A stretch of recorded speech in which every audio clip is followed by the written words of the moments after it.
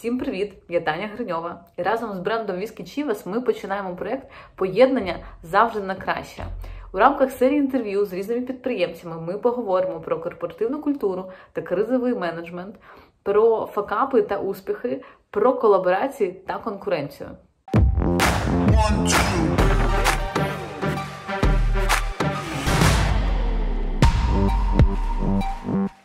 Сьогодні наш герой Андрій Худо. Це легендарний ресторатор з міста Львова.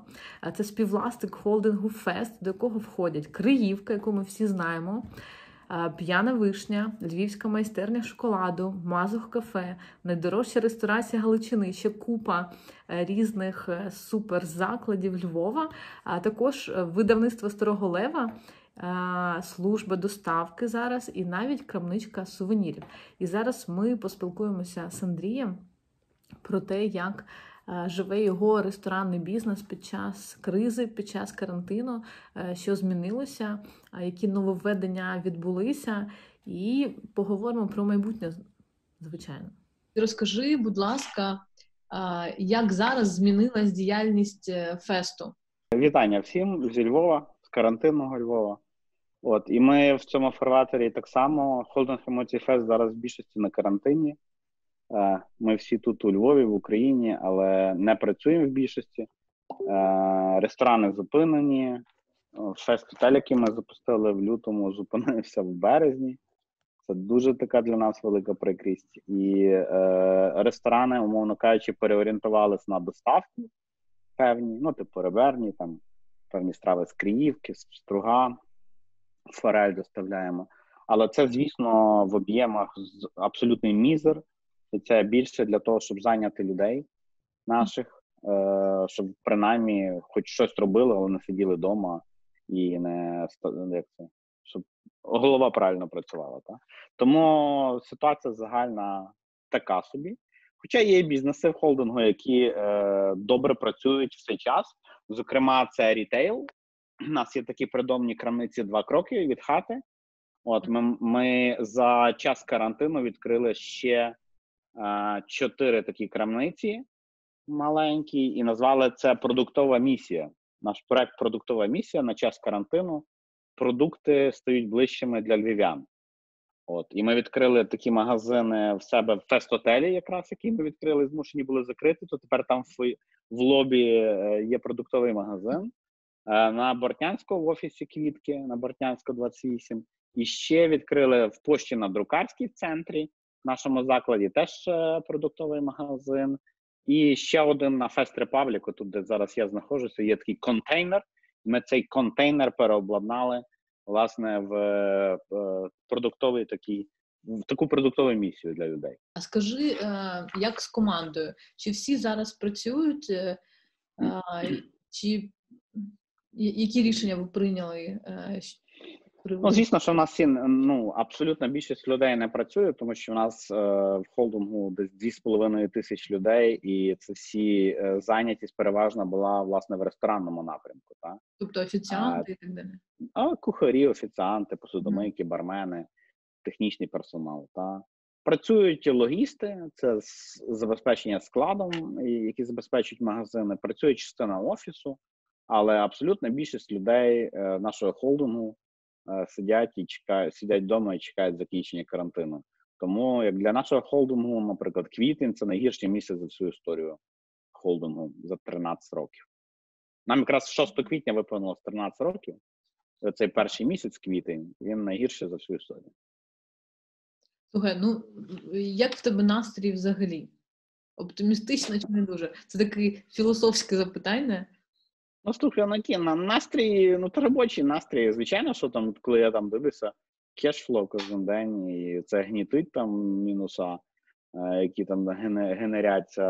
Але, але я розумію, єдиний філософський правильний підхід е, істину в тому, що всяке в житті бувало, і оця біда, яка є, вона теж мине, як і минув Радянський Союз, який в якому була Україна, як і різні, не знаю, там інші пандемії, які були в світі. І це мене, це питання часу. Єдине питання, що ти маєш мати терпіння добрий здоровий глузд з критичним мисленням, та і е, є час зайнятися тими речима вдома, якими ти не займався. Та? І, зокрема, дуже багато часу на дітей, книги і фільми. Тому, а все, що ти можеш в бізнесі зробити, треба робити. Ти можеш давати людям продукт, давай людям продукти. Ти можеш робити щось в онлайні, роби в онлайні, але до цього треба було бути готовим до того, тому що онлайн це звичайна перспектива. Слухай, а про запуск чогось нового? Що стосується зовсім нового, ну знаєш, цей час теж якихось певних співпраці, колаборацій, і е, ми там, зокрема, один проект е, в, контексті фест доставки, яку ми запустили, в принципі, як новий бізнес. Та це доставка не тільки страв з ресторанів феста, та, а це й доставка продуктів з магазинів. Зокрема, в цьому проекті ми там зробили колаборацію з молокією і почали там робити здорові сніданки для людей, доставляти людям тоді продуктові цілі набори. А інший приклад, е, наприклад, в онлайні, який напевно буде після цієї кризи е, перспективним, і на нього будуть всі більше і більше звертати увагу. Хоча те, чим ми займаємося, ми ж займаємося е, емоціями, позитивними емоціями і атмосферою в нашому в наших ресторанах. Тому Е, сказати, що ти там, умовно кажучи, можеш доставляти цю їжу. Ну тоді ти заходиш в багряний океан, ти доставляєш їжу. А ми унікальні були тим, що ми творили атмосферу в своїх ресторанах, і туди хотілося приходити власне е, в ресторани. Тому онлайн він теж якісь певні має надає обмеження. Хоча, як приклад, який я хотів назвати, це співпраця, теж колаборація з агенцією 42, Е, Київською з Денисом Блачинським, зокрема, ми зробили такий проект спільний весілля онлайн. Ти напевно чула Бачу. про нього? Да. Да, да, да. Оце от ми зробили разом, і е, минулого тижня одружилася пара у Львові киянин і львів'янка. Так що весілля онлайн, можливо, це буде е, один з продуктів, які будуть актуальні цього року, тому що люди одружуються, і це потрібно. Україні потрібні маленькі українці. Сто процентів. Слухай, а якщо все-таки, що ти пам'ятаєш найбільше з цих 13 років? З факапів і криз, так? Mm-hmm. Да. Ну, з, з таких пандемічних, то, то 2009 рік, рік, який я згадував, mm-hmm. тоді для нас був стрес. Ми тільки почали бізнес у 2007 році. Це було буквально там ми скільки в бізнесі? Два роки були. Два роки. І то ми ж почали з Криївки, там з Діана на ринку. Тобто зовсім ще невеликі були, а в той час ми вже мали, напевно, з ну, може, 8 ресторанів, та може до 10 до 10 ресторанів, я думаю. І тоді це був стрес, тому що ти прийшов в наступному місяці, так кешфло нема, а витрати всі прилітають: там зарплати, комуналки, оренди і все решта. І ти думаєш, як з тим всім справитися, та? бо це перший стрес такий бізнесовий на ринку. І тоді для нас так було непросто. Ми тоді теж зробили координаційний штаб. Юрка заставного залучили. Він у нас був якраз е, незалежним директором в наглядовій раді і по ризиках. І ми почали ну, розробляти різні плани виходу з цієї ситуації. Але слава Богу, тоді воно минулося в якомусь такому manageable time, е, часі, та типу там mm-hmm. це був місяць, умовно, та а зараз зараз це більше. Тому, якщо говорити з таких криз е, суттєвих, то це був найбільший удар. Бо потім, після 2000, ну, з 2010 року, це був переважний ріст, інші бізнеса, і це вже можна говорити про якісь там бізнесові там формати, які там пішли чи не пішли. Але так якби глобальна по холдингу, то це 2009 рік. Угу. Ну, але ви вже тоді зрозуміли, що треба якась диверсифікація потрібна. Ми тоді дві дві речі фактично зробили висновок. Перший, з який я згадував, це диверсифікація самого бізнесу. Це, типу, захід в інші суміжні бізнеса. І оскільки ми працювали з багатьма постачальниками, ми зрозуміли, що рітейл це цей бізнес, який найбільш органічно до нас може прийти, і оборот виросте. Відповідно, в тебе будуть більші знижки будуть там е, різні маркетингові платежі більше. Тобто, ми, ми якби це це було менеджером. Але що тоді закралося в думках, і про що ми почали думати, то це то це виходити за межі України. Виходити за межі України з нашими форматами чи продуктами, тобто став думати про те, щоб бути світовою компанією, а не тільки обмеженою Україною чи там Львовом. От і ми до цього йшли чуть довше, ніж ніж там до рітейлу. Тому е, от ну ми, зокрема, зараз там та ви напевно знаєте, ми маємо п'яні п'яні вишні в Варшаві, в Кракові, в Вроцлаві. Це в польський напрямок. В Азербайджані ми маємо три львівські майстерні шоколаду, так і називається львівська майстерня шоколаду. Тобто, ми зробили певні кроки. Там експортуємо пиво, правда. А видавництві старого лева е, ми взагалі продаємо права, інтелектуальні права на наші книги українські, які потім видаються там Франція, Південна Корея, е, це Штати, Бразилія, Аргентина. Тобто, по всьому світу ми фактично торгуємо інтелектуальним продуктом і якийсь певний оборот теж маємо. А якщо говорити про перспективи, то що ми вже там два рази підходили і зачіпали Е, питання, то е, онлайн, та про які зараз всі говорять, і на які всі звертають увагу. Так, це круто бути в онлайні, бути сильним, там мати хороший бізнес, але до того треба готуватися і бути з певним унікальним продуктом або унікальною бізнес-моделлю. Як приклад нашому холдингу е, є хороший приклад, це видавництво Старого Лева, які почали займатися, ми почали онлайном займатися роки 3-4 тому. І воно поступово поступово росло. І зараз, коли прийшла в час кризи, ця бізнес-модель стала стійкою. Видавництво за квітень місяць перевиконало бюджетний план, який ми робили на квітень місяць в онлайні, без офлайну. Вони купують там онлайн продукти чи щось таке. Але книги, ну і знаєш, якщо говорити там про позитиви, бо я ж розумію, що ми шукаємо і позитиви у цій кризі, так? то позитив в тому, що люди стали більше читати. І якщо вони стали більше читати, є шанс, що вони вийдуть з цієї кризи більш освіченими і більш підготовленими до нових реалій. Так. Да. Ну і онлайн освіта також. Якось... Про онлайн освіту. Це ще один проект нашому холдингу. Ми маємо, не знаю, чи ти чула, ми, ми зайшли в бізнес освітній. Ми маємо школа вільних і небайдужих. Чула про, про, про цей проект? Ух ти. Ні, я не чула, розкажи, будь ласка. Ми три роки тому зайшли в освітні, е, створили першу школу на вулиці Клепарівській у Львові. Е, почали з нульового і першого класу. Е, така в нас креативна школа вільних і небайдужих, і почали її розвивати. То за три роки в нас вже є дві школи, вже є від нульовки до четвертого класу цього року. І ця бізнес-модель, як приклад, теж витримує натиск кризи. Чому? Тому що пішла та сама самоізоляція, але пішла онлайн освіта.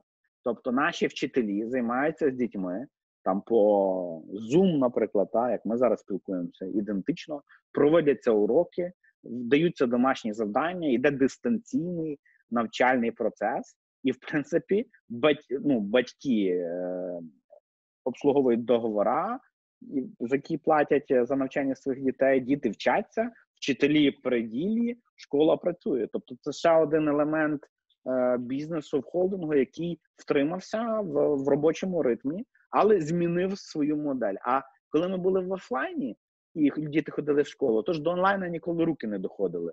Ну, знаєш, та й так питань багато там. Да, Є, колись зробимо. Тут, тут школа мистецтв, тут театр, тут ще щось, там потім, потім. Та? А тут а, в один момент грім грянув, і всі зразу задумалися про онлайн і швидко його запустили. Добре, що зараз купа інструментів, всі з девайсами, купа онлайнових інструментів, якими можна користуватися я про там ті самі зуми. Да?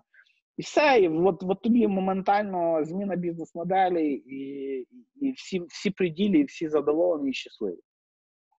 Да, так і є. Ну, Наша школа, е, мене дитина також до першого класу ходить у частну школу. Е, приватну школу, і е, вони просто за за вихідні адаптувалися. Але я розумію, що вчителям важко, звичайно. І там всі діти, тобто щось там пишуть, особливо коли це маленькі діти. Ну, ну, Але але нічого, я думаю, ми всі так адаптуємось. Слухай, ти е, почав казати про те, що всі більше читають. А А розкажи, може, що ти прочитав е, е, із останнього, не знаю, під час карантину чи просто із останнього? Значить, я на час карантину чомусь присів більше на фільми, на які теж ніколи не доходило час. Але ти знаєш, я підключився, ну так ж життя заставило. Підключився на сервісі Netflix, ну, якось ніколи не користувався, так? А тут підключився на Netflix, підключився на Megagogo український. От е, Apple TV почав теж юзати. І оці сервіси вони мені теж частину значну часу поглинули.